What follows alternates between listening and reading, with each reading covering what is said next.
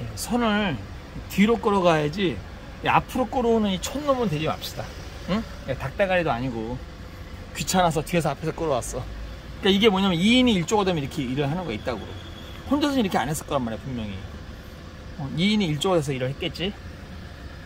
출장 작업, 어? 어, 출장 인판집 출장 작업이라고 할 수 있지. 그거 왜? 어. 대부분 출장 이거야 그냥 공임 작업. 공임 한 2만 원 받고 하는 거지. 썬팅하면서 겸으로 하던가. 그럼 이 그럼 이따구로 일하게 되는, 되는 거야. 이게 현실이야 이게. 뭐 다 그런 건 아닌데 열이면 한, 한 8명이 그렇게 하더라. 7, 8명이. 똑바로 하자 일. 이게 뭐냐? 부끄러운 줄 알아라. 아유. 내비 형님이 훌륭하니까 내비 형님이 해봐야지. 자, 1부는 채우자. 쇼츠 영상 올리자. 이렇게 하면 되겠니? 나는 뭐 그들 비할 마음은 없고 못하는 집은 진짜 못한다고 말하는 게 진짜 그게 애국 보수다.